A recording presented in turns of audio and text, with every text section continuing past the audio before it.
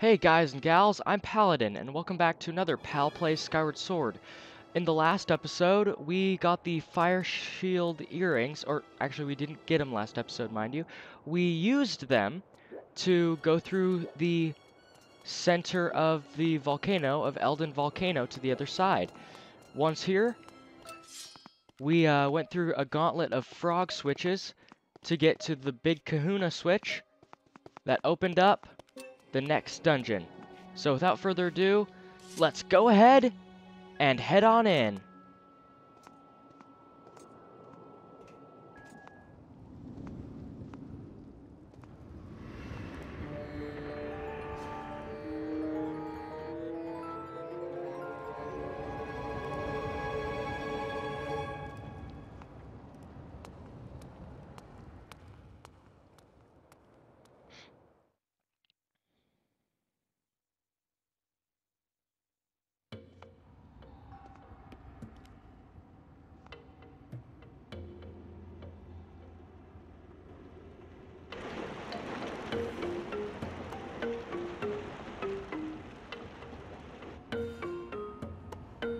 Listen to that music.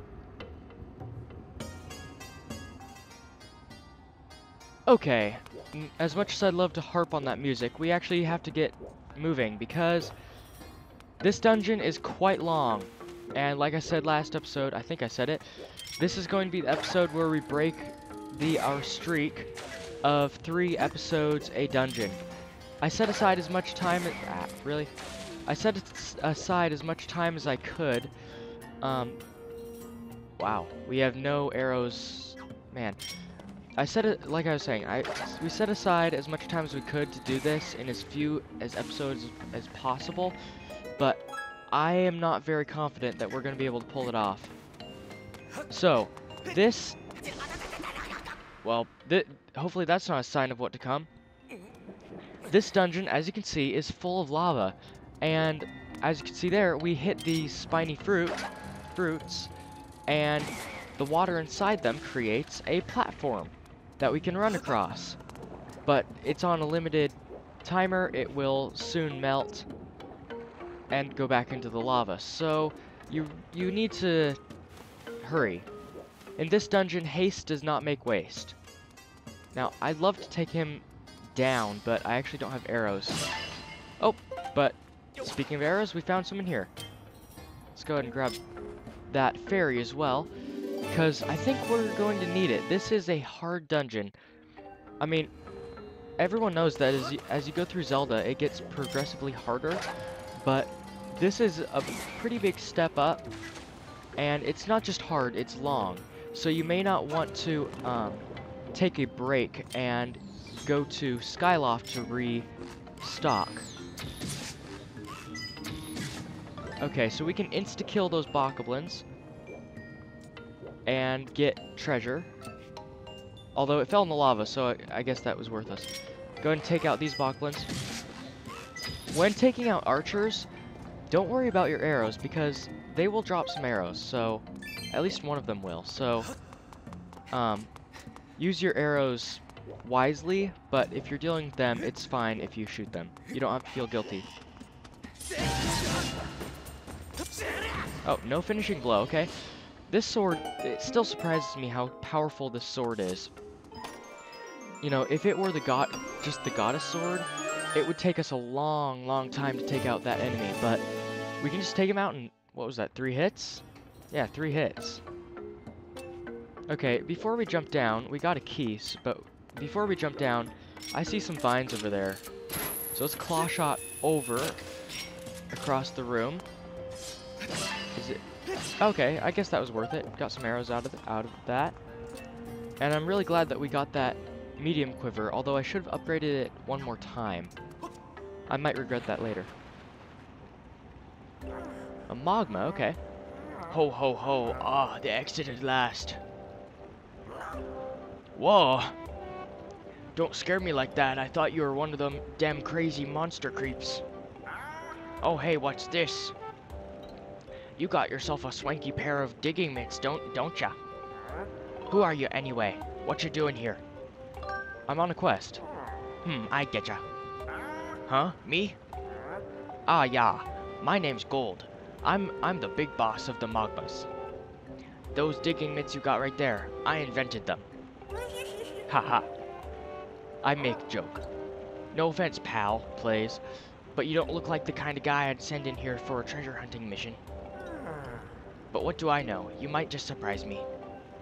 So here's the deal. Word in the tunnels there is there is a, a huge treasure hidden in these here ruins. But nobody who's nobody's who's wait. Oh, but no one nobody's who's ever seen it has come back to tell the tale. Countless treasure hunters have disappeared in here. Poof. Gone. As a treasure digger, I gotta warn you to just turn turn around and enjoy the many peace, peaceful years of digging left in you, but you're gonna do this no matter what I say, don't ya? Alright then, I'm to let you in on an ancient, an ancient treasure hunting legend passed down through um, among generations of Mogmas. Every Mogma worth a handful of dirt knows this one. Here we go. Ye who seek the entrance to the king's treasure, look for the old two statues that face one another. Show your bravery and jump into the mouth of the sleeping statue. Do this, and the path will open before you. You remember all that? And you're golden. Thanks. Some of my guys are searching around here for the treasure. If you get lost, holler at them. Okay. Thanks, bro. Also, that voice was crazy, and it constantly changed. I guess that's the mark of any any LPer. Whenever they do voices, they constantly switch up.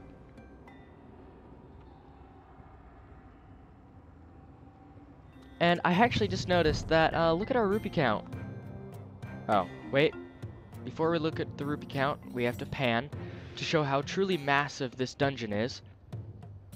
And we have half the symbol for, was that male? Yeah, male. We have 664, so when we get two rupees, guess what? We'll have that magic number that everybody raves about and everybody looks forward to. Uh, actually, that's a bald-faced lie. Where do you guys come from? Okay, um, these are dark Keese. Found in many locations, these winged monsters are attracted to dark places, such as caves. They're, they often gather in colonies and are active at night and sleep in the day. Those who come too close and awaken them often fall victim to attack. So, these Keese will curse you, which is, I'm gonna use an RPG term, it's a status ailment where you can't use items or your sword. So it's similar to when you completely use up all your stamina, except you don't move slow, you can still walk and run. But, using our handy powers of the whip, we can take these guys out no problem. And we didn't get that treasure. Whoa! Oh! You startled me, sir. That was pure reflex right there. Man, you startled me.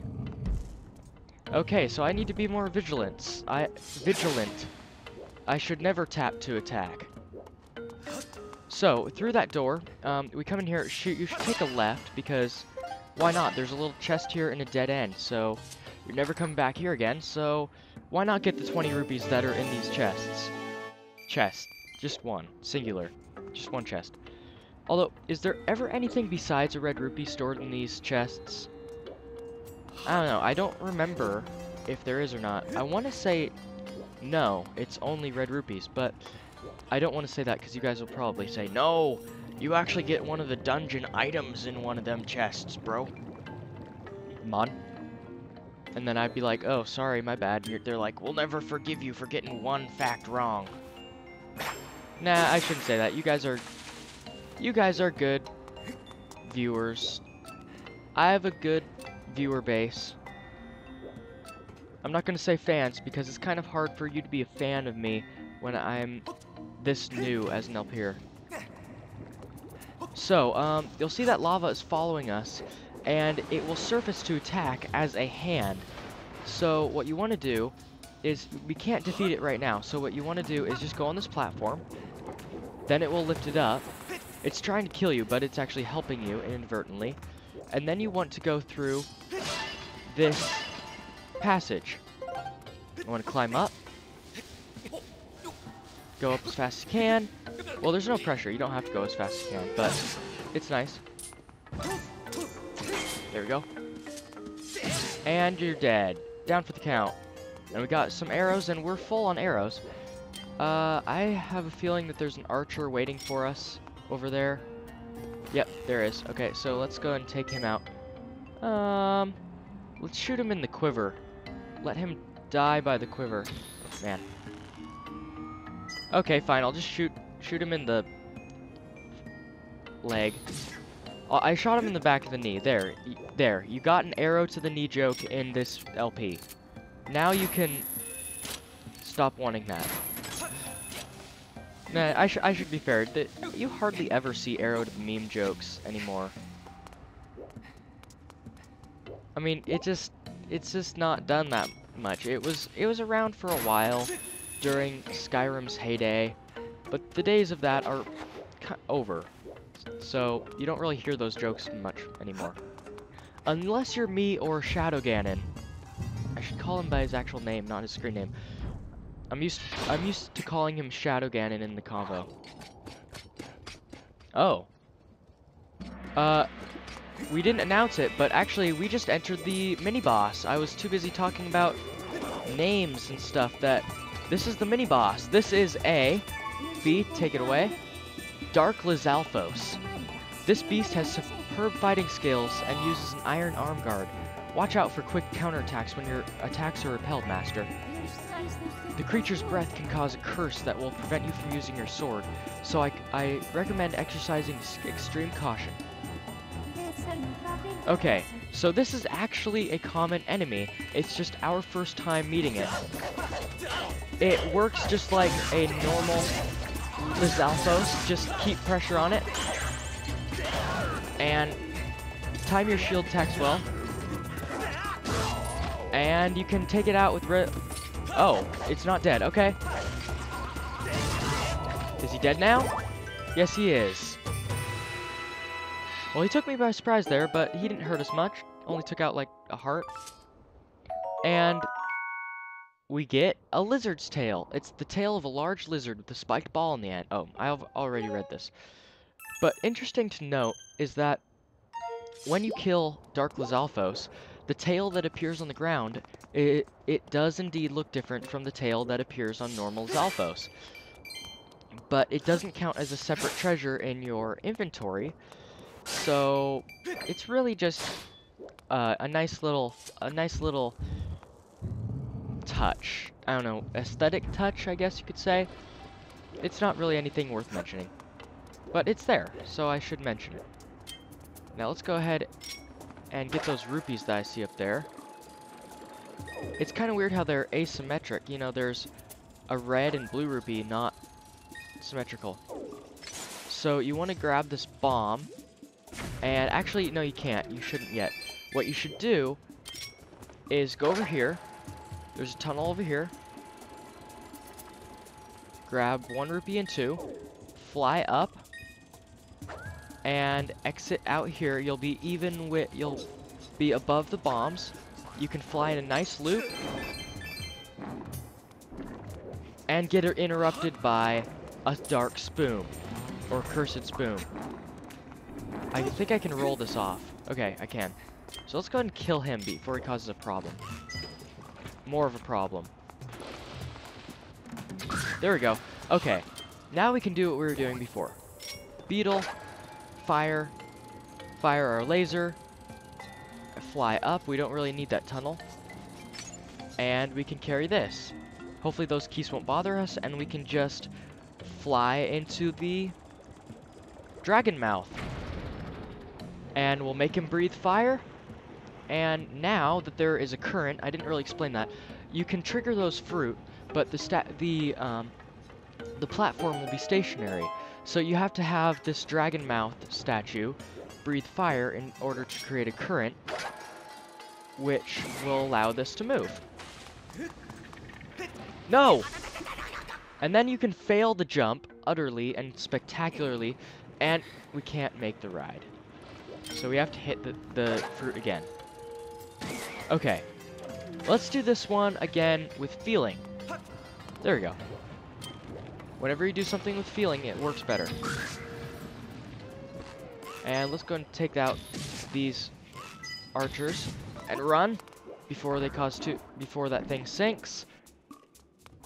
Grab their arrows and did we get a key? No, we didn't. Oh, there's a door here. Okay. So there's a locked door and a normal door. I presume that oh. Whoa, Mogma. You're in a pickle. That stuff looks hot. I wouldn't I wouldn't mind a little hot bath for my sore shoulders, but this is too much. What? What have we got here? Another new guard? Ha! You can't break me with interrogation, son. You'll never make me talk. I'm not some sideshow for you to gawk at. Get lost. Shoo now. Okay. So, apparently he thinks we're the enemy. But we're not, so we'll try to save him. We'll set him free, hopefully without having the lava there when we do. Now, these... It looks like you could maybe possibly chop through this chain, but you can't. So, you have to progress. We can avoid... Actually, sometimes there's stuff hidden under these, so I should take them out. Also, worth noting, and I seem to say worth noting a lot, but I should say that I'm actually recording with a new mic today. Uh, I'm recording with another Sennheiser PC-151. Um, I got another one because Ryan's brother had to loan us his mic every time we recorded. Well, the only time we recorded. He had to loan it to us. And also the small keys right here, so yeah, we can go back. Now, he had to loan us his mic every single time we would record. And sometimes he couldn't, it wouldn't be freed up. So we couldn't record when he came over to my house. So I got another Sennheiser in order to get rid of that problem. I eventually plan to have maybe four Sennheisers because I have a group of four friends that all play video games. and I'd like to do that for the channel, for Pal play, Pals Play. Um, but that's my goal. Until then, if I need um, three mics, I'll just borrow Ryan's brother's headset. Now, anyway, um, I should explain. We got the key and we went into this room. This is actually isn't really a room. It's more like a garden because this is open air. It looks like possibly, maybe, possibly it was an old crater long ago, and they repurposed it as a garden after this part of the mountain went dormant. That's what it seems like to me. I kind of like to picture that because it makes me think that people used to live here. And there we go. Now, there's a chest here. I have no idea what it contains, but what we want to do is above the... Oh, monster horn, okay. I bet that's randomly generated as well. But anyway, what I was saying. There's a frog switch above that firewall. Now we can't carry these fruit, and these fruit have water in them, so we need, we definitely need the fruit. Um, but what, what we need to do is stab them. And then, no, oh, no, really? Man, I accidentally charged it up a Skyward Strike. Okay, there we go. So now, what we need to do is target that, swing, throw the fruit in there with their sword, and it will turn off the the uh, propane nozzles. Okay, let's keep digging. I'm trying to find treasures, which I don't think... Yeah, we don't have our compass yet, or our, our map, so I'm guessing that one of them is in here. But I don't see it, so... I guess it's not in here. Okay, whatever. Let's just drop down. Go ahead and get our bow out so we can take care of those bokoblins. Actually, let's take care of the Keese first. That one. And that one, we shot him in the axe, which should not kill him. I don't know, maybe his axe is somehow part of his body. And we can take out these Keese with relative ease. And the blue bokoblin. Is this is this the hardest that this game is throwing at me? Seems like it. Okay, so we can run through here. And this gate will close after us. Now, what we need to do is now we are fighting the... Let's see if we can have Fi bio them. Okay, we are fighting the ma uh, Magma Magmanos. This hand-shaped monster dwells in fiery lava. Its, its body is made up entirely of flowing magma. As such, it is invulnerable to most attacks. Theoretically, it would be possible to inflict damage on the monster if you were able to solidify its body. So, what have we found so far that can solidify its ow? That can solidify magma, but these spiky fruits, of course, and we'll have this kind gentleman raise us up so we can kill him with the spiky fruit. Also, I didn't mention before, but the fire shield earrings, actually, if you're on fire, now it will it will douse the flames. And we can go ahead and hit these, hit the hands with our sword after solidifying them, and it will break them into pieces. Why they don't reanimate after killing them, because they just melt again, I don't know, but it works for us, so we might as well do this one in. Hit. He solidified. Hit. Hit. Hit. Done. And that will lower the magma and save our Mogma friend.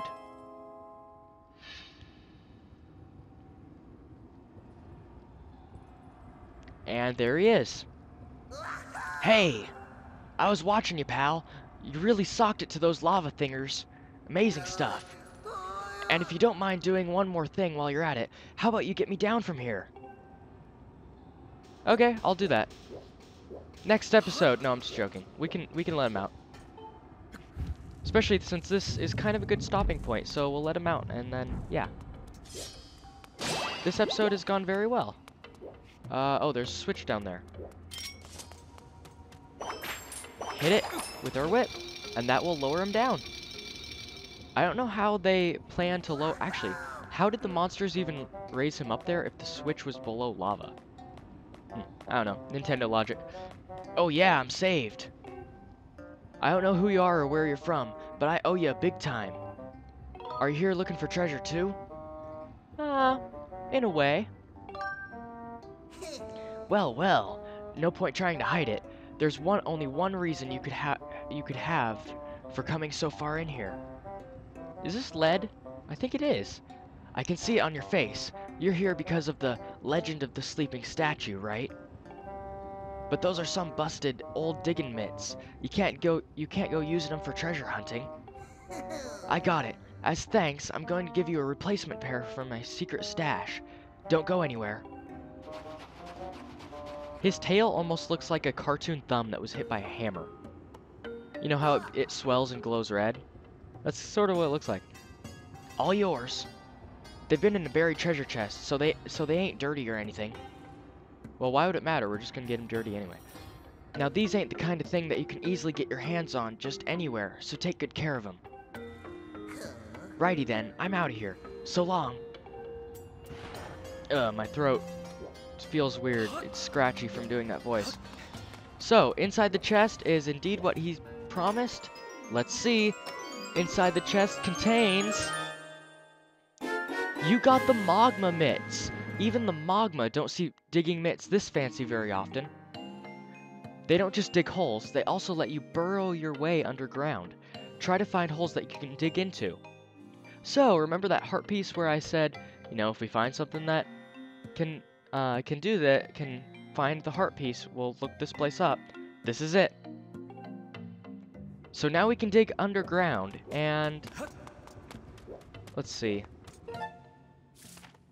I'm pretty sure, yeah, there's there's a bird statue in there, so we'll crawl in here before ending it off. I'm pre yeah, there is. Okay, so this is a perfect place to end it off. Thank you so much for watching. And, oh wait. No, never mind. We have a lot to go. Actually, you know what? I'll get the, the outro done right now. Thank you so much for watching, And next time on Skyward Sword, we'll continue through the Fire Sanctuary now that we've gotten the Mogma Mitts. Okay, now let's continue. now that I've gotten that part out of the way. Hey, pal! Oh man, I have to do his voice again. Hey, Paladin! How are those mitts treating ya? If you want to get a good look above ground, try, pre try pressing Z. Got it? Press C to, to uh, press Z to look above ground. Don't you go forgetting it. Okay. Now, by swinging the Wiimote, you can punch and you can destroy, um, you can destroy piles of dirt. Now, if you look up here, there is a a pile of rocks over here. Now, destroy that, you just punch the bomb to roll it over. Now, while that happens, let's journey through. Oh, and press Z, you can see above ground, so that's really useful. This is a really good item, and I'm like that. They, I really like it because it's useful. So, I'll see you next time for another Pal Plays Skyward Sword, where we can e explore this area further. See you guys then.